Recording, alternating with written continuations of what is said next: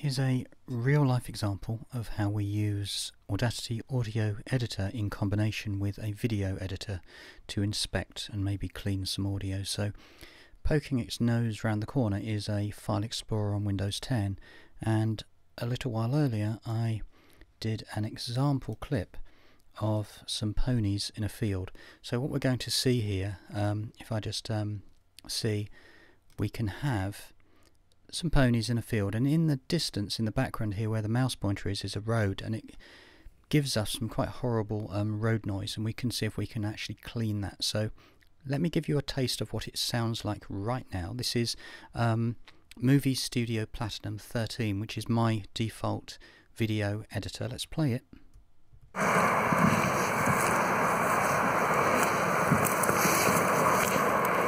You can see at this st stage there is some really incredible background noise.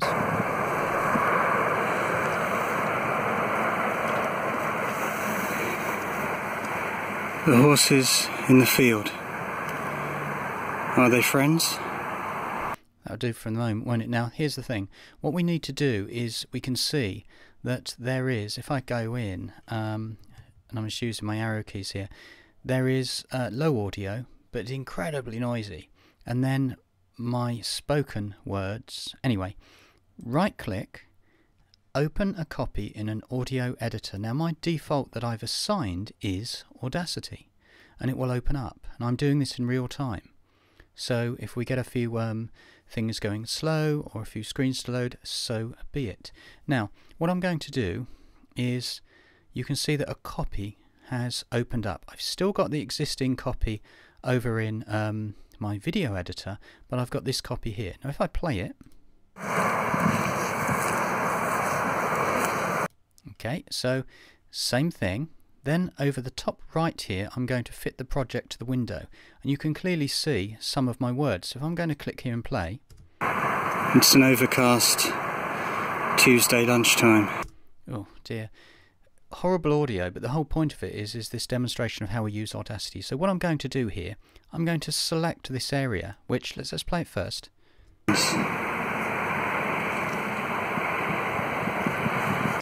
There's wind in there and there's traffic, so I'm going to select it.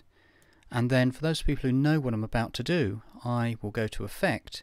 I'm going to do some noise reduction and I'm going to get that noise which was this selected. So it's now taken um, an example of what it thinks that it needs to clean. Then I'm going to click or select all, which I kind of like have done I think. Um, is that right? Let me just, just do it one more time. Hold on. Click here and I'm going to do Control A to select all of it. Then I'm going to do exactly the same and go back to noise reduction and this time I'm going to select OK. And we wait. While we're waiting, I don't know what the effect's going to be because I'm doing it in real time and I've not done it like a few minutes ago. Oh, something's happened, hasn't it? So let's play the clip again. I'm just going to click um, at the, the start here. So I'm going to go back to the beginning, play. Still a lot of ambient, isn't there? Is it any less though? What's my voice sound like? It's an overcast. Oh, goodness. It's not great. It's not supposed to be great. It's supposed to be an example of how we use Audacity. So, in other words, what we're going to do this time is I'm going to select everything and then I'm just, just clicking in this big uh, rectangle down the left hand side. I'm going to do effect. This time I'm going to normalize the track, which is my three step process. See what happens there.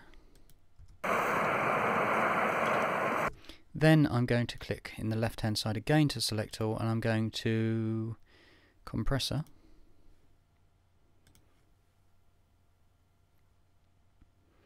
And while that is making itself, has that done anything different? Let's play it from there.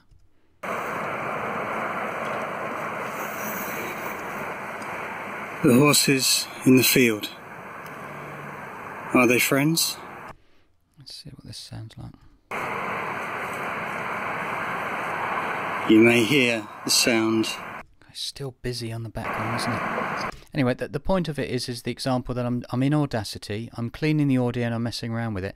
I can, not in this video, but I could go down and make some envelopes and I can actually start bringing these parts down. What I want to do is I want to, and I can't remember how to do this to be honest, is I'm going to save the project, no I'm not, I'm going to save other and I'm going to export that as a WAV file and I'm going to say horse at the start.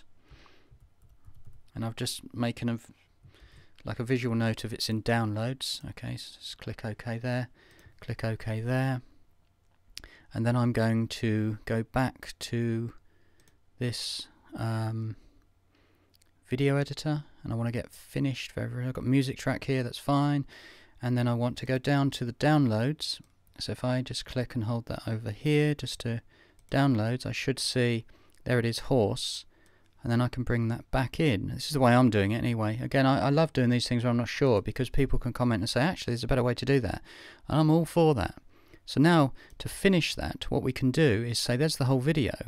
So let's mute that track and just play it from the beginning to see a before and after, if there even is a difference.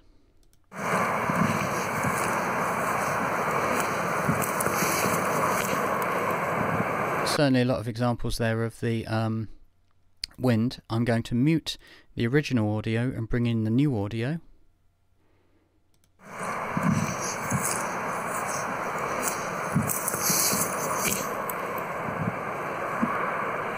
Interesting. Let, let me just um, play this part.